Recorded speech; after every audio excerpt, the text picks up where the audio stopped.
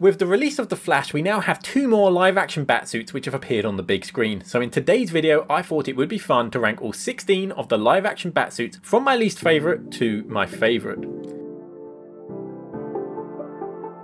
Hello and welcome to Cinemaze. If you're new around here, please subscribe to see more videos like this. Also, I'm only ranking the live action suits from the theatrical films, so any suits which have appeared in TV shows aren't going to count, and I'm not going to include the suits from the Batman serials in the 40s. Yes, they are technically theatrical releases, but I don't think it's fair to include them in this list. And of course, this is my opinion on the suits, considering their design, their comic connections, their relevance to the story, if they're practical suits, and it is not my opinion on the films or the actors themselves, just their suits. So let's get right right into the ranking. Number 16, the Batman and Robin Batsuit. This is George Clooney's main Batsuit from Batman and Robin. It's of course infamous for the bat nipples and sculpting around the body parts, supposedly influenced by ancient Greek statues, but it's just weird for a Batsuit, especially one designed to sell toys to children. Besides from that, it's completely monochromatic with a weird metallic finish, and so it all blends together, nothing really stands out or pops, and it just comes across very bland. Every Batman wears black eye makeup under the mask, but the eye holes here are so big that the makeup is so obvious which just looks looks weird. Overall, just a weird and bland suit,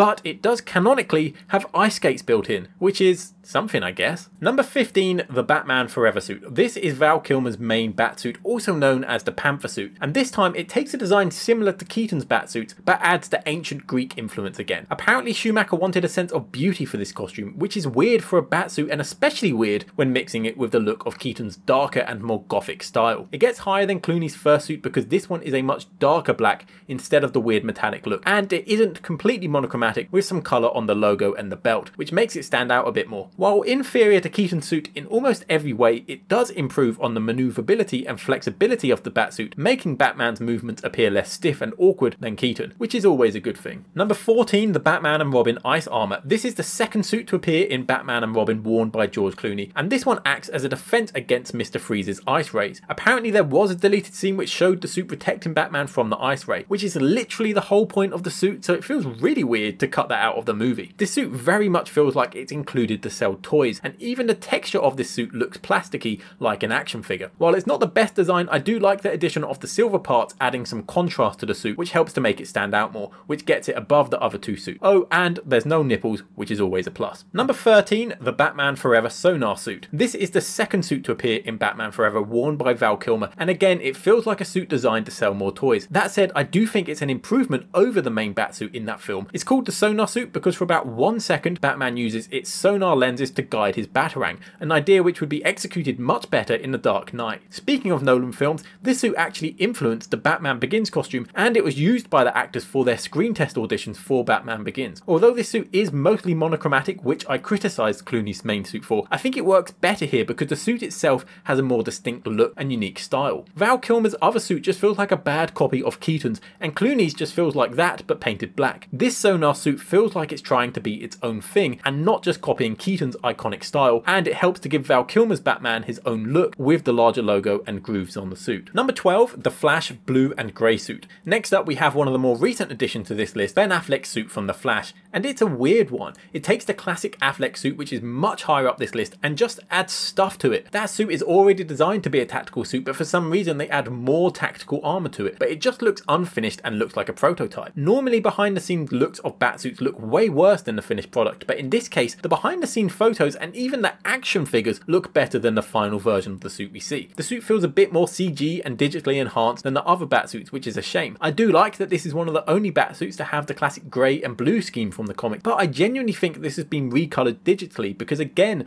the behind the scene photos looks to have different colours. Also, it has a weird mask which looks slightly smushed like a pug or a bulldog, and for some reason they got rid of the voice changer, which was a nice detail in his previous suit. It feels like they included this suit just to have him have a new suit or to sell toys. But I'd rather them have just used his standard suit. Or if they wanted to give us a blue and grey classic colour scheme, just recolour his standard suit rather than add all this extra pointless stuff to it. Number 11, the Nightmare suit. Another suit worn by Ben Affleck, this time in the Nightmare sequences in Batman v Superman and Justice League. It's Ben Affleck's standard suit but with a trench coat, goggles and cargo trousers. It's a really cool look for an alternate version of Batman and it makes sense for the setting. Although doesn't he get really hot in all of that that gear. Overall, it's not really a Batsuit, so it's not going to make it far up my ranking of Batsuit, but for an alternate version of Batman in the future, it looks awesome. Number 10, Batman 66. Next up is the suit worn by Adam West in the 60s Batman series and the 1966 theatrical film. And of course, it's the least cinematic looking suit on this list, but it's exactly what it needs to be for the film that it's in. A fun, light, bright suit for a very campy film. It's reminiscent of the look of Batman in the comics from this era, which had also become more light-hearted compared with Batman's darker origin. And so it's actually a really good adaptation of what they were going for. Also, again, it's one of the only suits on this list to use the grey and blue colour scheme, a traditional look for him in the comics. I like Batsuits to have different colours rather than just black. So overall, this suit is exactly what it needs to be. It's got a good design, it's super iconic and it's memorable,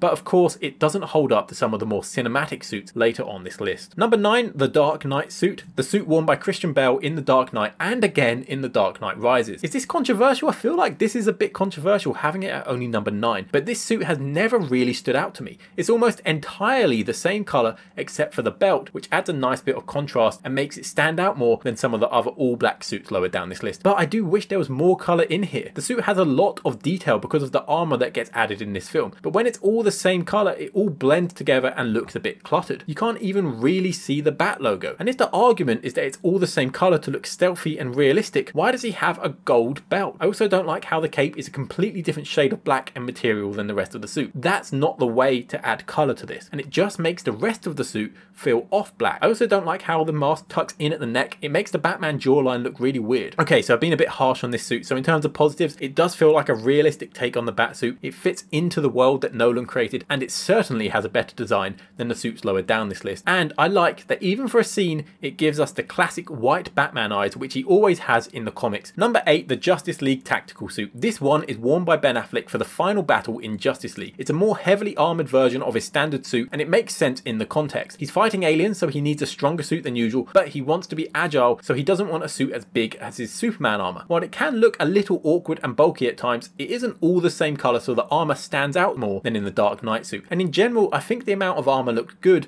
and it feels like a nice compromise between agility and defence, showcasing a Batman who can adapt to the situation. But the main thing that holds this suit back are the goggles. I really don't like the eye goggles here. I think it looks way better without them. Yes, there are some similar eyes in the comics with the leather wing batsuit, but for me, it just looks like Nite Owl from Watchmen, and I think they look awkward. Overall, a cool addition to Batman's wardrobe when he's in the mood to fight aliens. The contrast of the colours make the suit stand out more than the Dark Knight, but it's a little bit over designed. It makes Affleck look really wide, and I think the goggles just look bad. Number 7, the Batman Begins suit. Following on from that, we have the suit from Batman Begins, a very similar suit to the Dark Knight, but slightly less heavily armoured. And again, it has some of the same issues. It only really has colour on the belt, the cape feels like it doesn't match the rest of the suit, feeling way too jet black and cloth-like. This time we have the opposite problem with the cowl, where it feels too wide and loose, making the Batman jawline weird again. But I think it's slightly better than the Dark Knight suit because it's not so cluttered. The lack of armour makes it feel less over-designed, and the Batman logo stands out way more this time. It has less armour and it feels more streamlined and agile, but it actually feels more intimidating, as for some reason the armoured suit feels slightly smaller. Again, it fits into the world created nicely and it has an explanation as to why it exists. It's essentially a slightly nicer designed and better material version of the Panther suit earlier on in this list. To me, it feels more Batman-y than the Dark Knight suit and the tactical suit,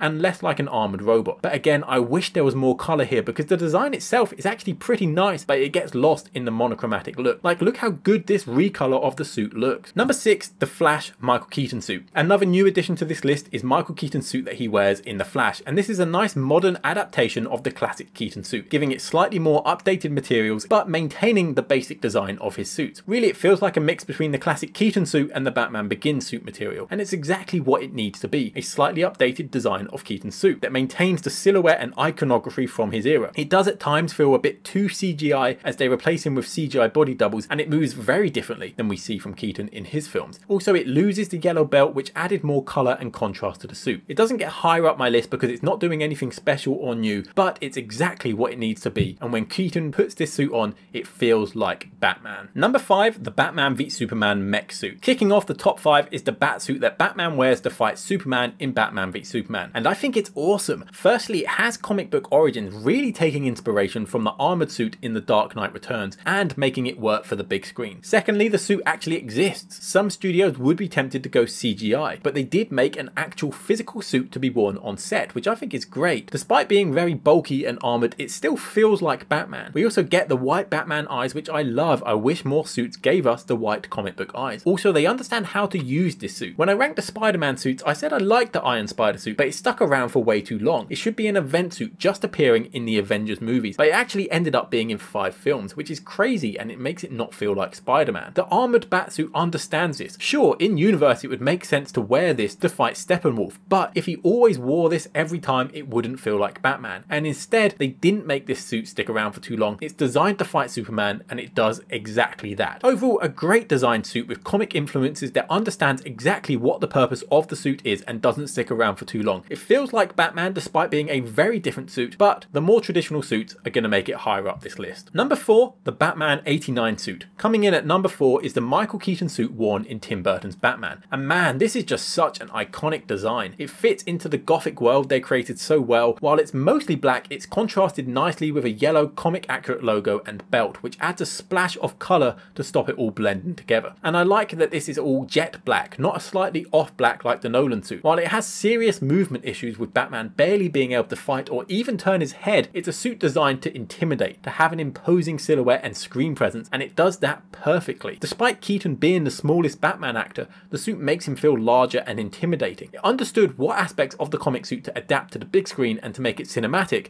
and still feel like Batman. Just a great design and super iconic. It feels like Batman. It's so iconic that it made general audiences think Batsuits had to be black all the time, which wasn't actually something we saw in the comics until later in 1995. And I think that all black works well here. I just wish that other versions of Batman didn't keep doing it. Number three, the Batman Returns suit. In my top three is the suit worn by Keaton in Batman Returns, and it's essentially the same as the 89 suit, but with a few small improvements. This time we get some armoring around the chest instead of the rubber muscle suit. I think this makes the suit look a bit more modern and less stiff. I like how the cape comes around the front, a bit more over the shoulders, like he's hiding in the shadows more, and the cape transforms into a glider, which is awesome. The logo on this one is improved to be more traditional. Despite the 89 film having the iconic logo on the poster, the actual suit has a slightly different bat symbol, which the Batman Return suit fixes to be more traditional. Honestly, my only issue with this suit is in the scene where he takes the mask off. Firstly, we see his eye makeup just disappear between cuts, and we see how weird the eyes look without the makeup. And secondly, it's just bizarre to me that he has to rip the rubber off the mask just to take it off. Like it seems so impractical. But overall, that's a really minor nitpick, and I think this is an awesome suit which makes a few improvements over the 89 suit. Number two, the Batman suit. The suit worn by Robert Pattinson in the Batman, and in my opinion, this is how you do an armoured batsuit. It's grey and black, so different parts stand out, which helps the different elements of the design to come through, while still sticking to one of the classic comic book colour schemes. But it still feels grounded and stealthy, allowing Batman to work in the shadows. It feels influenced by the more armoured look of some of the Arkham games. While it looks heavily armoured, it doesn't look too bulky or restrictive like we've seen with the other armoured batsuit. It feels designed for a version of Batman who isn't necessarily the best fighter like a ninja, but instead surviving on pure force with a suit designed to be armed to the teeth to get Batman through any brawl with gadgets on his arms, his belt, and even his bat logo. Because this is a more grounded take on the character, it feels like a suit that fits into that stylized version of Gotham. It doesn't feel like a suit made out of an impossible material or a military armor. Instead, it feels like a real suit pieced together by someone with resources. And this works because it's still early in Batman's career. It doesn't feel perfect, and it does just kind of feel pieced together. Like when we see his gliding wings, they don't look like the fantastical gliding cape from Batman Returns, but instead an early prototype, which just about works. What really sets this suit apart for me is how emotive it feels. We spend a lot of time with this version of Batman in the suit, and while he doesn't say much, the suit allows him to emote really well. While I've expressed my wish for the white bat eyes, here often through looks he gives to Gordon or to a young orphan, you understand how this Batman is feeling. Similarly, the way his boots sound walking on the floor or the slight squeak in his gloves can convey his feelings or the feelings of others in the room, which is great sound design for a suit. I think this is one of the best cowls here. His jaw and neck don't look awkward, and again, it helps him to emote, but it still feels intimidating. Overall, this is a great take on an armoured batsuit, and I'm interested to see how this one changes over time. Number one, the Batman v Superman batsuit. Coming in at number one is the standard batsuit worn by Ben Affleck in BVS, Suicide Squad, and Justice League. Yes, technically the Justice League version is a slightly different suit with extra padding around the muscles and a slightly different mask, but for the most part they're the same design and so I'm counting them as one. And yeah, I think this is the best batsuit we've ever seen. It takes its own approach to the suit and instead of going for an armoured metallic look like almost all the other batsuits, instead it's a more flexible material. Like we see in the comics where Batman is usually always wearing a more cloth looking suit. It was also the first time time we properly saw the classic comic grey and black colour scheme in film, and it's massively inspired by the Dark Knight Returns comic. It's a very simple design, and I think that works better for Batman instead of the armoured looks. This more flexible appearance worked really well for a version of Batman in a more comic booky world where he is highly trained and agile, and it allows us to see the best Batman fight scene we've ever got. This was the first time we got a batsuit that could move completely freely and actually felt like a ninja. It also makes Batman look very intimidating, whether that's him hiding in the shadows like an urban legend or facing you in a fight and imposing you with his massive size. Also, it feels like its own thing with the shorter bat ears and larger logo, giving this suit and Affleck their own unique look. Also, it has a voice changer, which is just a nice detail to help Batman hide his identity and not have to do a stupid Batman voice. Because we're in a more comic booky universe here, it allows the suit to be flexible but also bulletproof and full of gadgets, and I favour this more flexible look over the armoured suits because it helps to encompass all aspects of the Batman character, whether that's his stealth, intimidation, detective skills, or agile fighting style. And overall, this Batsuit just feels the most like Batman from the comics, and it also has comic connections. It feels super cinematic, the colours are great, the actor looks great in the suit, it doesn't feel restrictive, and it just feels like Batman. So all this adds together for this suit to come in at number one.